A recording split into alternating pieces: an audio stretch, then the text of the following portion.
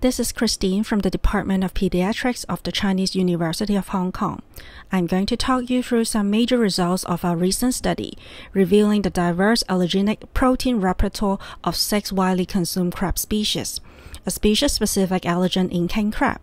This is a collaborative study among the Chinese University of Hong Kong, Shenzhen University, the University of California at Davis, and the Hong Kong Polytechnic University. Shellfish is one of the big nine food allergens, while crab represents one of the most common shellfish allergen sources. The common edible crabs are broadly classified under the infraorder Brachyura, which are the true crabs, while king crab are indeed not the true crabs, but under the infraorder of Anomura, that are more closely related to hermit crabs. Taking that king crab is not a true crab, we ask the question of possible crab-specific allergy. To address species-specific allergy and also fill the gap on the allergen repertoire of the commonly edible crabs and king crab, our study aims to compare the allergen profiles of the crabs. We collected sera from 64 patients with probable crab allergy, defined as having a history of immediate allergic reactions to any crabs and a crab-specific IgE level of class 2 or above. We also prepared the meats from six different species of crabs and also king crab.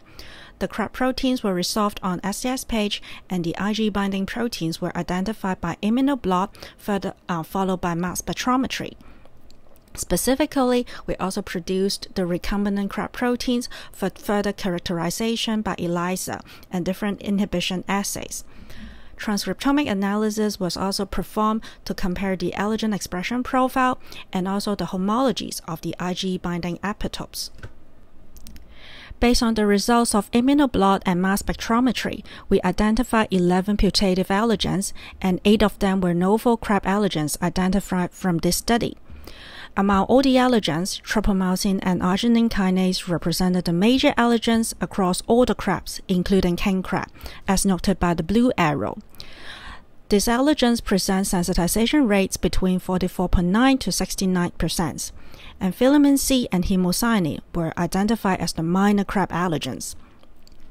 Based on transcriptomic analysis and epitope comparison, we showed that these allergens show similar expression among older crabs and high similarities in their IgE binding epitopes, except that hemocyanin that show only around 68% epitope sequence homology.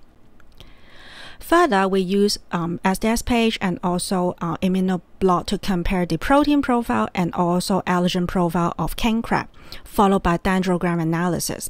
We show that both the protein and allergen profile of king crab actually show distinct cluster from the true crabs. This indicates that king crab has unique protein and also allergen profiles that are differ from the true crabs. Notably on immunoblot, malate dehydrogenase, and in short MDH, a 30 kilodalton protein, was distinctly reactive only in king crab, but none of the other crabs. The IgE binding was also strong, and MDH also showed a high sensitization rate of around 40%. Thus, we produced the recombinant MDH for further downstream analysis. Apart from producing MDH from king crab, we also produced the recombinant MDH homologs from two true crabs, including the mud crab and Chinese mitten crab for comparison. By basophil activation test results from two crab allergic patients, we show that king crab MDH show functional IgE reactivity, as noted from the red line here. Although the extracts from mud crab and Chinese mitten crab also show basal basophil activation, the MDH homologs from these two crabs did not show any functional IgE reactivity based on BAT, as noted in the purple and black lines. Similar results were also shown in immunoblot that only king crab MDH show Ig reactivity, but not the other MDH homologs. These MDH homologs also show minimal Ig inhibition to king crab MDH, as noted on inhibition ELISA and inhibition immunoblot.